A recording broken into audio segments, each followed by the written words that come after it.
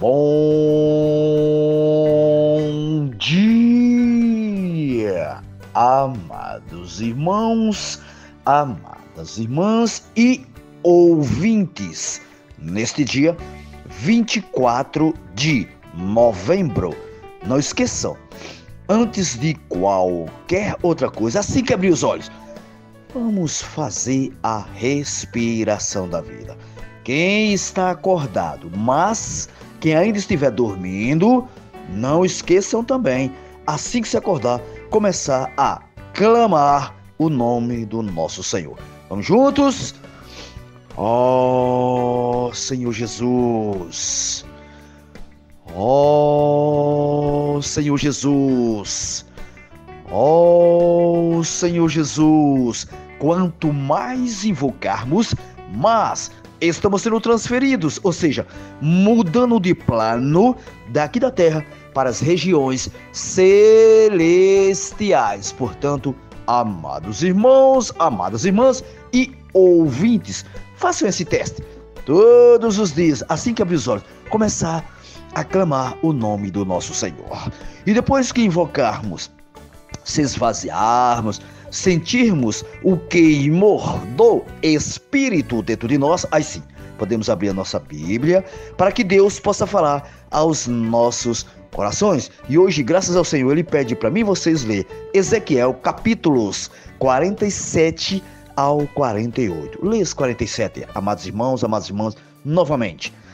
Depois Pedro, 1 Pedro, capítulo 3, Salmo 119, 9, 49, aliás, a 64. E Provérbios 28, 12 ao 13. Leiam com calma quem não vai trabalhar. Mas quem for trabalhar, pelo menos um versículo, leia este versículo com certeza. Se você estiver com seu coração completamente aberto, eu digo sem medo de errar, o Senhor fala assim ao seu coração. Amém? Louvado a Deus. E depois que nós já lemos a Bíblia, com certeza, nem que seja no versículo que tem falado no nosso coração, podemos continuar sim no alimento diário. Quem tem? Quem não tem, pode ouvir e depois também soltar suas pepitazinhas para ajudar uns aos outros. Amém? Louvado a Deus. Alimento diário, cuja série é Palavra, Vida e Edificação tirado, bem desfrutantezinho do Evangelho de João.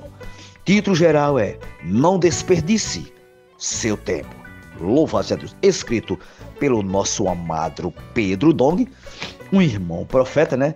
Que todos os dias está aqui com as pepitas que Deus tem colocado no seu coração. Amém? Louvado a Deus. E hoje é sexta-feira, graças ao Senhor, nós estamos neste livro na terceira semana, que o título da semana é A Eternidade e o Tempo. Senhor Jesus. E hoje, graças ao Senhor, vamos à leitura bíblica. Já lemos, eu vou até repetir os versículos. Nós já lemos, mas é bom repetir os versículos. Ouçam bem. Ezequiel 1, do 1 ao 4. João 5, 30 e o mesmo João 6,38. Já lemos, mas é bom reler novamente. Ler com oração, esse é que nós estamos lendo, né? Que é Apocalipse 4, 1, parte B, que diz o seguinte: ouçam bem, para todos nós, sobe para aqui e te mostrarei o que deve acontecer depois dessas coisas. E João viu, né? Tronos, né? Do trono sair relâmpago, vocês sabem bem direitinho que vocês já leram. Então, amados irmãos, amadas irmãs, nesta manhã, nós precisamos estar aberto, viu? Que o Senhor vai falar aos nossos corações novamente. Louva-se a Deus. E hoje o título é Jesus fez a vontade do Pai. Lembrando, fazer a vontade do Pai sempre foi a prioridade do Filho. Ouçam bem novamente. Fazer a vontade do Pai sempre foi a prioridade do Filho. Tudo para Jesus, está aqui na terra, em primeiro lugar, a primazia era para o Pai. Então, nós devemos seguir o mesmo modelo do Senhor, dar primazia ao Senhor. Amém, amados?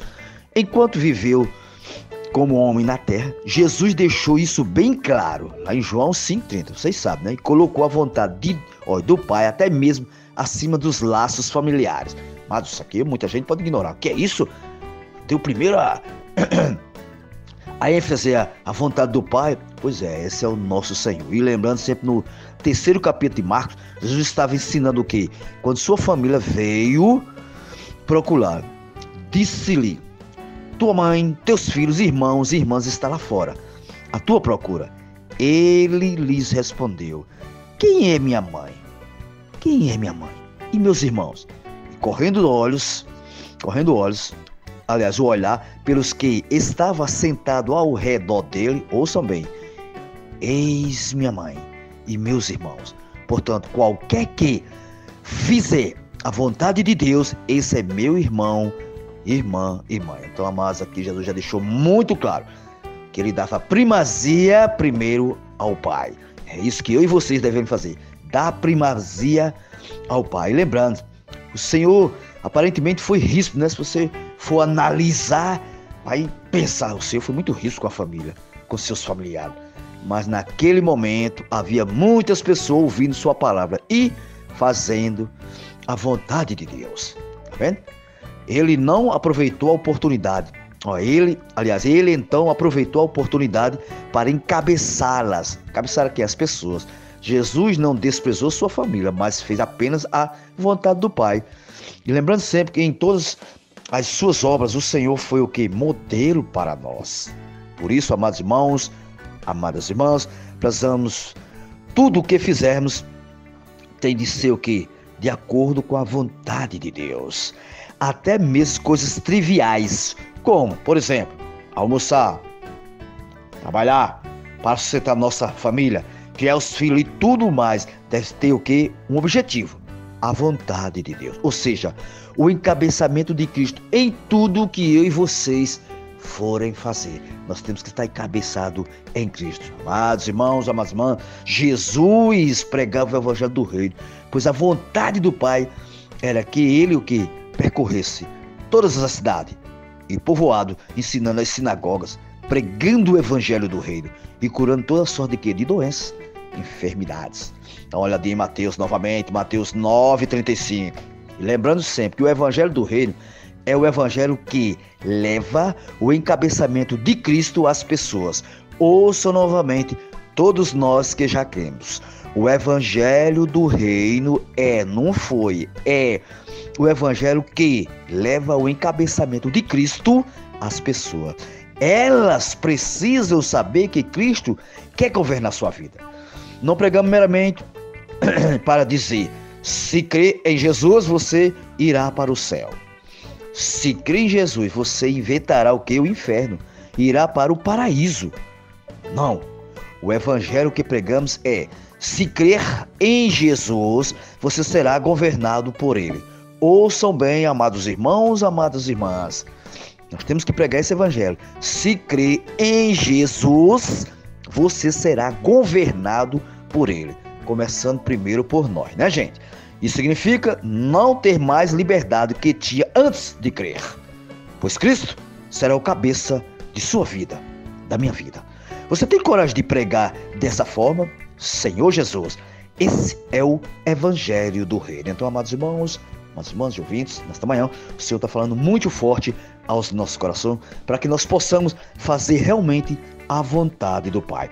Outro ponto bem interessantíssimo ele diz assim: Em Mateus 24 está escrito: E será pregado este evangelho do reino por todo o mundo, para testemunho a todas as nações. Então virá o fim. Então não adianta ter rodeio. Só vai vir o fim quando o evangelho do reino for pregado a todas as nações. Aí ele diz: Tenho certeza disso. O final dos tempos virá somente quando o evangelho do reino for que pregado em todo o mundo.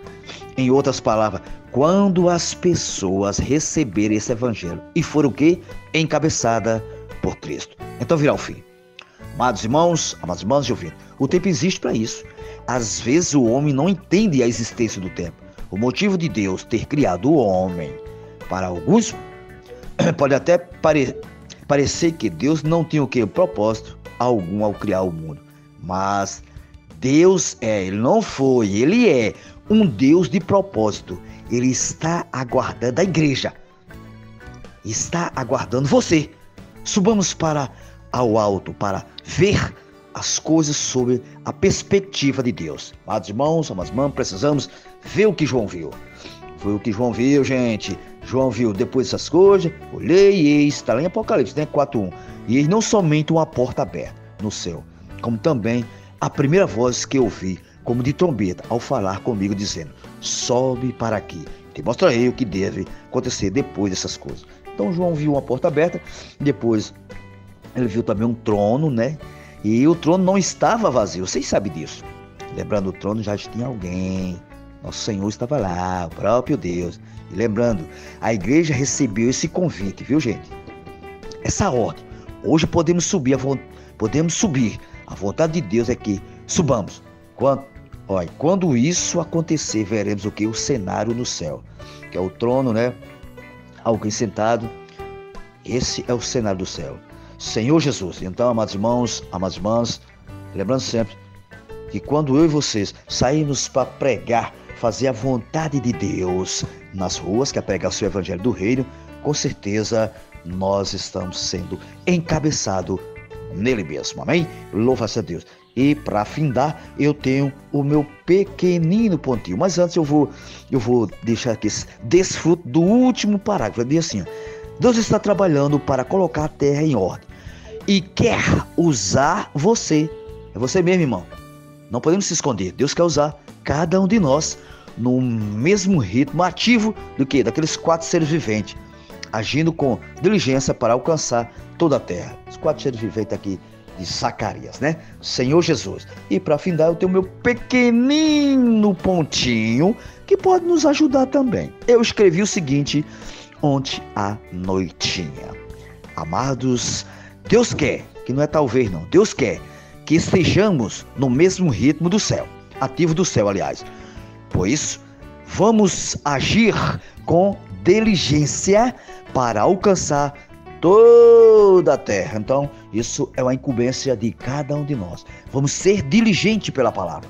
Vamos estar ativo como o céu está ativo. Então, amados irmãos, amadas irmãs, esta incumbência não podemos desvalorizar.